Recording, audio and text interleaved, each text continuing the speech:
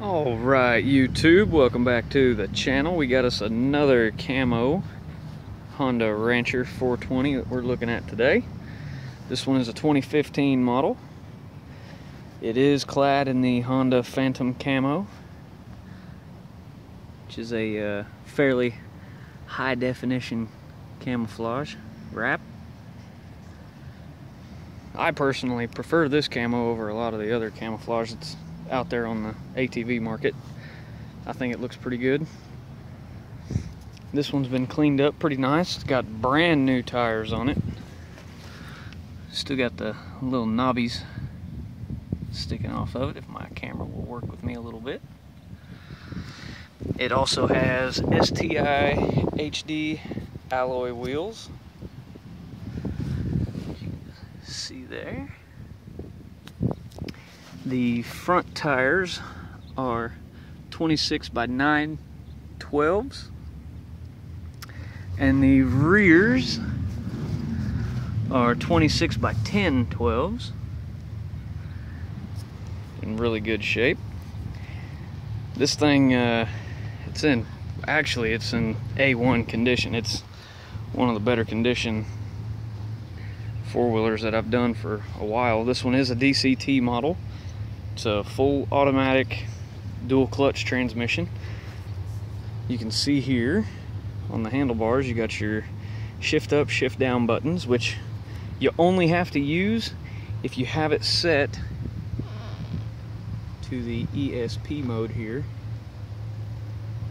which I have it set to auto because, you know, I'm just bringing it around back, but there's the uh, shift pattern for this thing. It's one of the smoothest shifting four-wheelers you can buy in my opinion.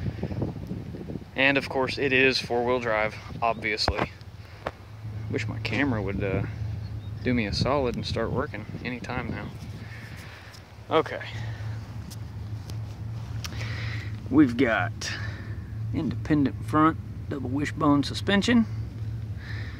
Still got the factory axle guards there, boot guards. Coming around the back, also has a fully independent rear suspension,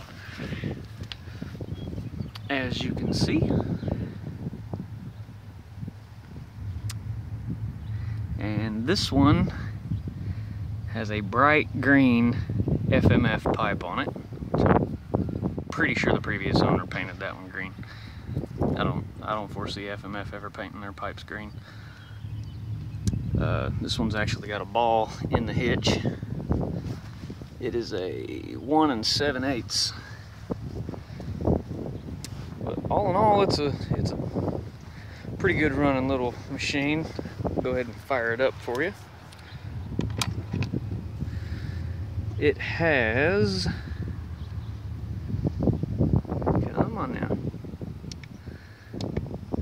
797 miles on it. So, still ain't got too awful many miles on it. Fires right up. Got a nice deep throaty FMF sound to it.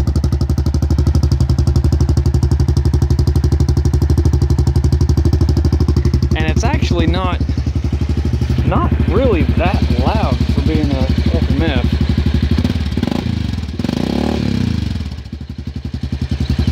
pretty good though.